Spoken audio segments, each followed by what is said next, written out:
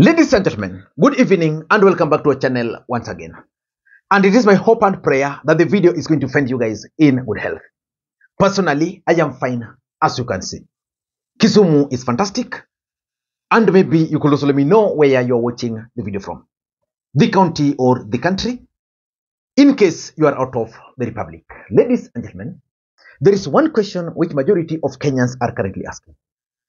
Whether William Samoei Arap Ruto, the president of the Republic of Kenya, can actually win the re-election in 2027 minus the support of the mountain. Because clearly the mountain has drifted away from the grip of William Ruto. Can he win the presidency minus Mount Kenya? Because in 2022, William Ruto's game plan was very simple. He banked 100% on the mountain. Yesterday, Moses Kuria attended some event, Mugithi event. And Moses Kuria was actually heckled out of a podium because he's being perceived to be an ally of the president. Kuria.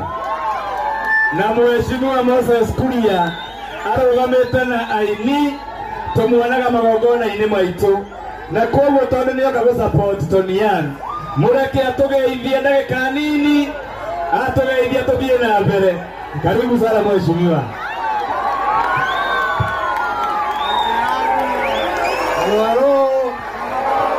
Halo halo. Ito mulega. Mulega kuo. Baraka mwa dede. Ito moja. Oh, kira. Oh, kira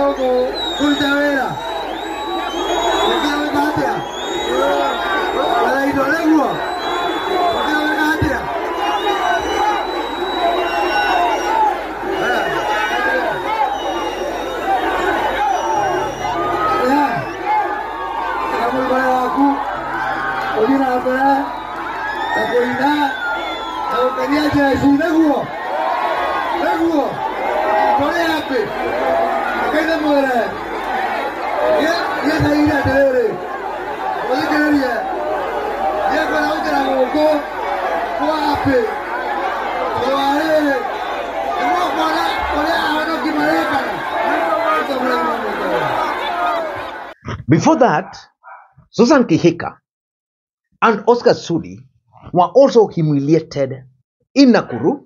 When Susan Kihika was also heckled out of a podium for trying to read a speech by the president. mundu areka uria areka niki? No ndimuhoe muthie na mbere kunyitirira mheshimiwa Irene Choki tafadhali. Please nĩguo. Condolence message from his excellency William Ruto president of the republic of Kenya. Rekei tũigue ĩ sawa ĩ gĩkira iwega tũigue ĩ Haya, from His Excellency William Ruto, President of the Republic and Commander in Chief. Nekei to celebrate my pole sana William Samoei Ruto. Thank you. Reure. Oi, tusifanye makerere kwa sababu tuko kwa mazishi. E, washeni tusifanye makerere karibuni. So the ground has turned so hostile for William Ruto and his allies in the mountain to an extent that the president, President William Samoei Ruto, had to cancel a church service or a church event he was intended to attend in Embu. According to sources, that event was supposed to take place in um, in the month of uh, July, but because of the Gen Z protest, it was postponed. And William Ruto picked another date, which was supposed to be today. And remember the aftermath of Rigathi Gachagua's impeachment. William Ruto had actually intended to go to Embu, which is Mount Kenya East, because remember he had tried to split the mountain into two, east or west. And currently, William Ruto is trying to sell the candidature of uh, Professor Kithure Kindiki as the proposed deputy president. So he had intended, after the impeachment of Rigathi Gachagua, to go to Mount Kenya East to actually sell that ticket. The ground turned so hostile that William Ruto had to cancel that event. And immediately he cancelled the event, Rigathi Gachagua decided to go to Embu and took over that event. William Ruto had to actually explain to Kenyans why he skipped that event. where we were. So when um, the senior pastor told me that there had been sent an invitation for this celebration. I told him I'm going to struggle because it wasn't in my diary. My diary was committed somewhere else. I've had to negotiate with people in other places because I didn't want to miss this celebration. Because there is truly something to celebrate about Milimani.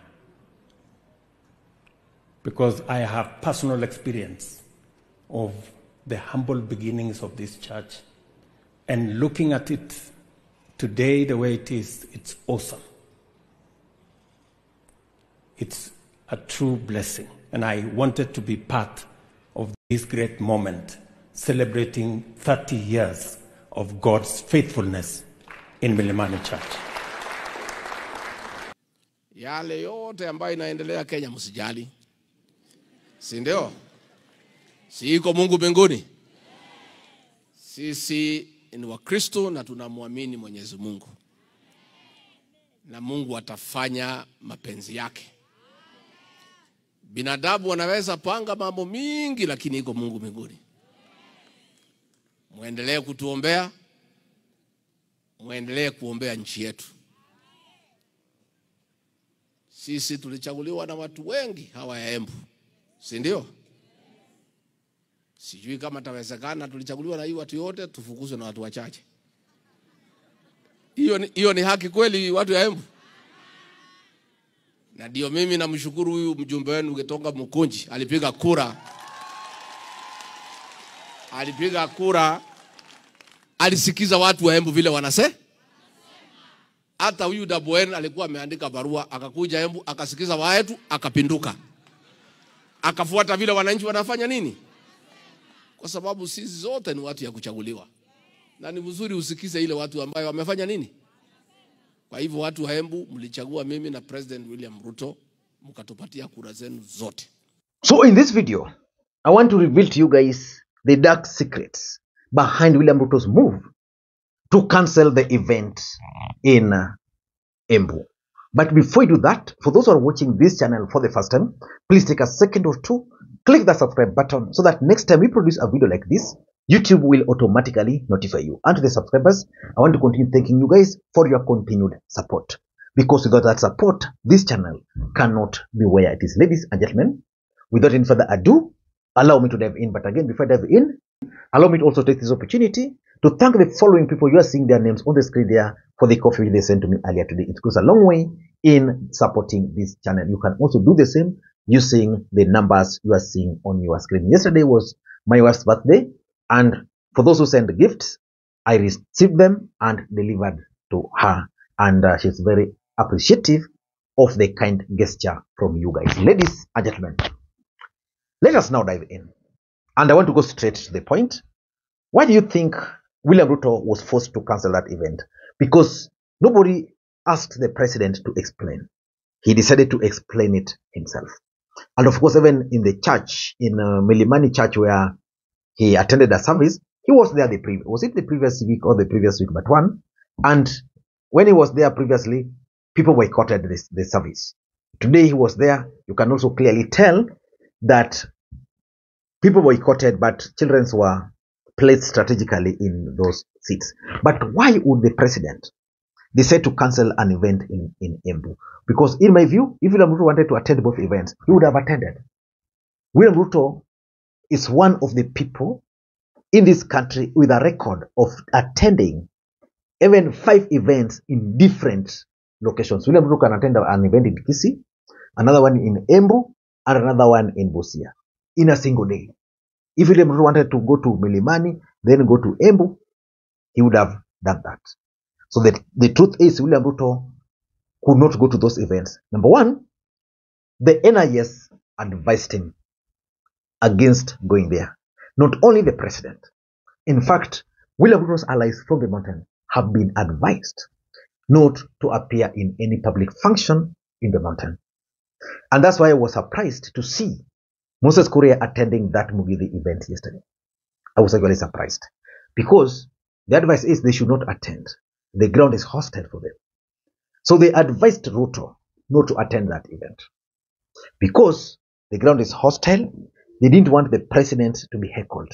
You know, it would be a very bad picture for a president who received over 80% of the votes from a region being heckled two years into office in the same same region. It was going to send a very bad signal. And of course, they didn't want the president to also face angry voters. You know, you, you are facing people who voted for you. And you are telling them a different story. So they didn't want that because also, just like I was trying to explain, it was going to send bad signal. So the solution is simple. Please do not attend. That's the instruction from the National Intelligence Service. So that's number number two. William Ruto also knew through the NIS that Rigathi Gachagua had planned to attend the same event. He had planned to attend it. And the question is, how was the ground going to react? We have a president here who is now very unpopular and his DP who is now very popular. So a popularity contest was going to emerge. And that is something which I doubt if William Ruto would have wanted to happen. Rigathi Gachagua was going to wash his mouth with him. so he decided no. Because there's no way William Ruto can stop Rigathi from attending his function. Rigathi is still the deputy president by law. Number three, and this is something which one of my friends on this platform told me that all pro William Ruto's MPs in the mountain are hiding. They cannot go to the ground because they're being hunted like antelopes by the people who voted for them. The people who voted for them feel that they betrayed them. So they're being hunted down. So William Ruto was going to go to Embu. And the only people who are going to accompany him were those who voted no to the impeachment. But those who voted yes, none of them was going to appear. So the members of parliament, the governors, the senators from the mountain, especially those who voted to impeach Rigathi, are hiding. And that is what forced Ruto to now cancel that event. Number four is the betrayal tag. There are so many things which William Ruto said during the last election. There are promises he made. One of them was that he would never frustrate his deputy. Now, he's not only frustrating him, he's removing him from office. So the mountain are going to view him as a betrayer. So William Ruto is planning to deal with these issues later, not now. And lastly, I think William Ruto is also trying just to manage the Rigathi Gachagua impeachment. How is the ground? How is the ground reacting? Can I go to the ground? I cannot go. If I don't go, what will be Rigathi's next move? So, ladies and gentlemen, let us wait and see how all these things are going to unfold. But if you are to ask me, I think unless William Ruto will win the support of ODM stronghold through Raila, he will have a difficult task. Because even Raila Odinga is making several political mistakes. One of them is the comment on Adani. Who told Raila Odinga to comment on Adani? Even if he's working with Adani, even if Adani has promised him what? I, do, I don't understand why Raila Odinga decided to defend Adani in an ODM event. I doubt if that was one of the agendas. If it was on one of the agendas, then ODM is going to have it very rough moving forward. Ladies and gentlemen, I don't know what you think, but that's my take. Until next time, this is Lee Makwiny. Bye bye.